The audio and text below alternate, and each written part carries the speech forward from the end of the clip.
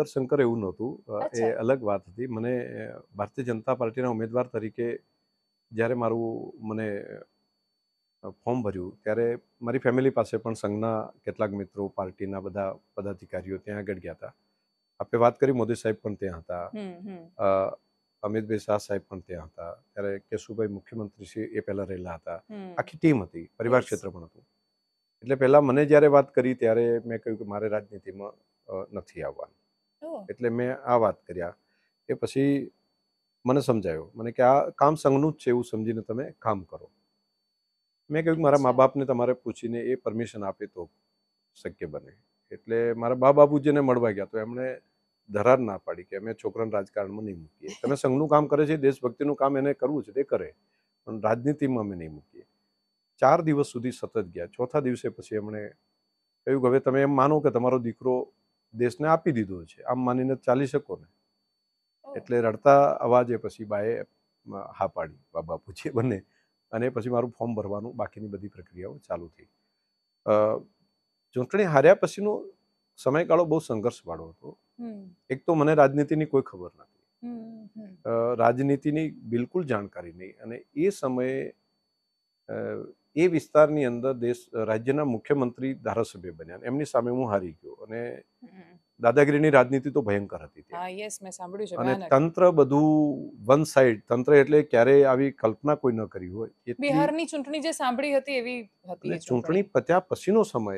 એ ટાઈમે તો બધા પાર્ટીના લોકો બધા મારે ત્યાં હતા. પણ પછી બધા તો નીકળી ગયા આખું પાર્ટી તો. અને મારે ત્યાં બધાનું લીડરશિપ કરવાની. અને એ લીડરશિપને હું પેલું કરી શકવા માટે ટ્રેન નહોતો તૈયાર નહોતો.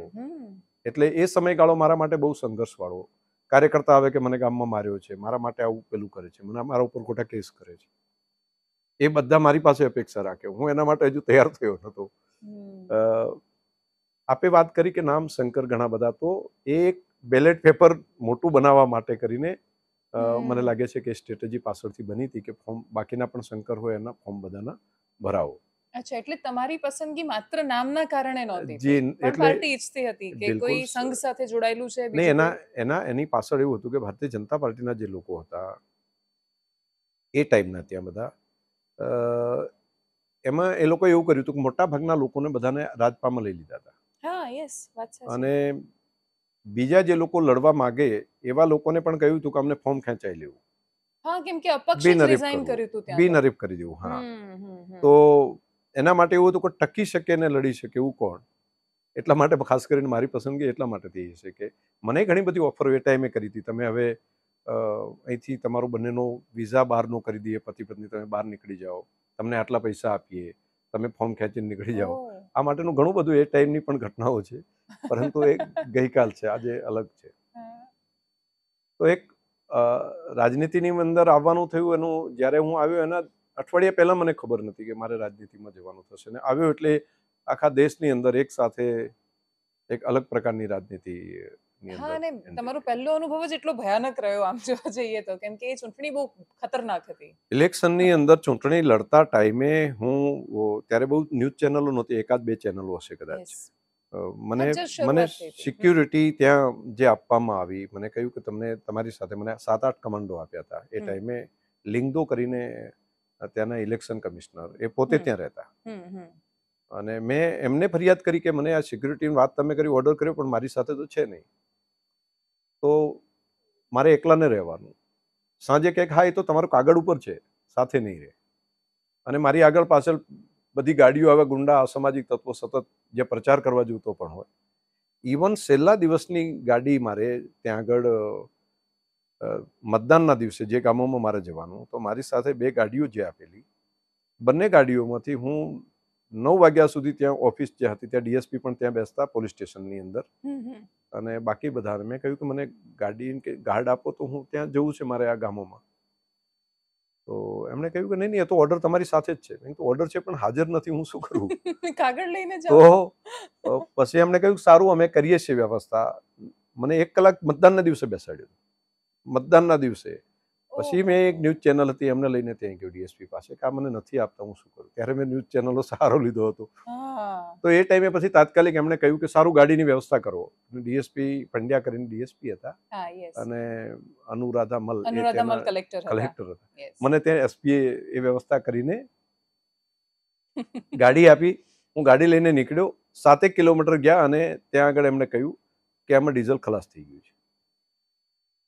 અને હું મને ખબર છે મતદાનના દિવસે હું એકલો ફર્યો હતો બધા વિસ્તારમાં. એટલે સત્તાનો શું પેલો ઉપયોગ કે દુરુપયોગ થઈ શકે એનું એક એનાથી બેસ્ટ અરે વખતે તો પત્રકારોને બહુ માર પડ્યો હતો. હા હા ઘણા બધા પત્રકાર મિત્રો જે છે એમને સિનિયર જે અત્યારે જર્નલિસ્ટ છે બધા જ્યારે યાદ કરતા હોય એ સમય તો એ લોકો પણ એક અલગ પ્રકારનું ચૂંટણી હતી અને એક અલગ પ્રકારનો સંઘર્ષ પણ હતો. એ પછી થોડા સમયની અંદર મેલેરિયાનો રોગચાળો આવ્યો. અને ત્યાં આગળ લગભગ અઢીસોથી વધારે લોકો મૃત્યુ પામ્યા. અને હું સતત લોકોની વચ્ચે રહ્યો. મારું ઘર હતું એની અંદર પણ મેં હોસ્પિટલ બનાવી નાખી હતી એ ટાઈમે. અને લોકોની વચ્ચે રહીને સતત બહુ લોકો ટપોટપ અમારી નજરની સામે મૃત્યુ પામતા હતા. મલેરિયાના રોગચાળામાં. અને મુખ્યમંત્રી તરીકે ત્યારે એ વિસ્તારના ધારાસભ્ય હતા. અને ત્યારે મહિનો ભરી કોઈ સમાચાર લેવા ન આવ્યા. અને હું ત્યાં સતત પછી પ્રજાની વચ્ચે જોઈન્ટ એક્ટિવ થયો ગામે ગામ. અને લાગ્યું કે આ માણસ સારી ગયો છે કંઈ નથી તો પણ કામ કરે છે. અને બાકી પણ મને રાજ્યભરમાંથી બાકી બધા કાર્યકર્તાઓ જે ડૉક્ટર હતા એ બધા મને મદદમાં આવી ગયા. અને ગામો ગામ કેમ્પ કર્યા મેં? મેડિકલ માટેના. અને ખૂબ લોકોને મદદ થયા હતા. મારી શરૂઆત અને આખી જે ત્યાં નાના નાના કાર્યકર્તા હતા એ મારી સાથે જોડાયા બધા.